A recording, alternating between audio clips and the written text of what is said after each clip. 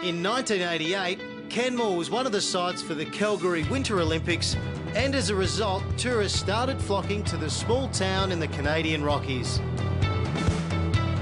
Located on the outskirts of Banff, Canmore offers a whole range of summer and winter activities for those who like adventure. One of the experiences the region is best known for is dog sledding, which is what we'll be doing today. You ready to take me? The Snowy Owl Sled Dog Tours is recognised by the Canadian Tourism Commission as one of their prestigious signature experiences.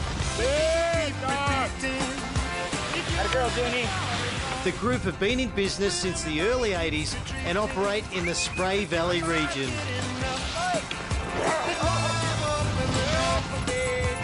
Well, tell us about these guys. How do you look after them?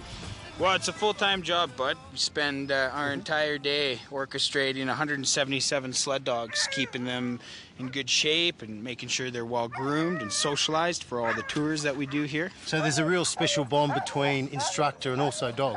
Oh, absolutely right. Um, they're they're our best friends, so I don't think they would just work for just anybody without our care and all the love and and uh, you know, affection we give to each other. It's a bond based on mutual respect. Right, man. So step in, facing this way, and then grab the back of my elbow with your left or with your right arm, and we'll set you down. Oh, handcrafted sleds with soft padding and warm blankets make the journey all the more comfortable. The trip takes you on a scenic route where you not only get to be at one with the natural wilderness of the area, but also with the huskies.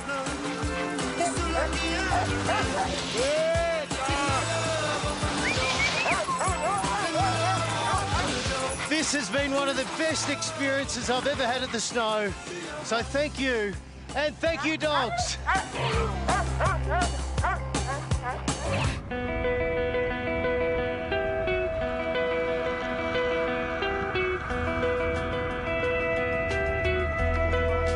A ski resort in Alberta's Kananaskis country, Nakiska offers a rail park for snowboarders and Olympic length runs for season skiers.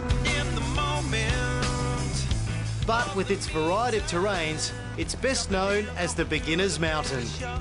These conditions seem amazing. Yeah, it's, uh, it's great out here, fresh snow today. It's perfect. Here at Nakiska, we're Calgary's closest mountain, so it's, uh, it's awesome for the families to be here.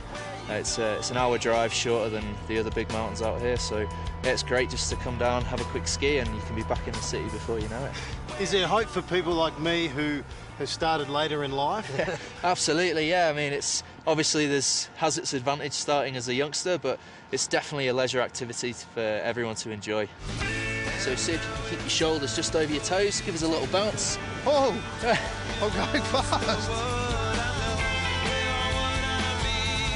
And no matter what level of skier, anyone can take the Olympic chair to Mid Mountain Lodge, where you can enjoy a hot chocolate and savour the awesome Canadian views. When you're up here, you will never forget it. One of the best skiing experiences is having fresh powder under your feet, which is abundant in the Canadian Rockies. All right, with these planks, let's go carve up the mountain. Race you down to the bottom.